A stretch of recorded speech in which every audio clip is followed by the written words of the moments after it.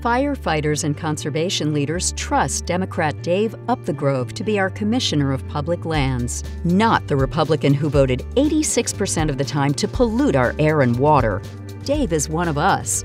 Vote Upthegrove.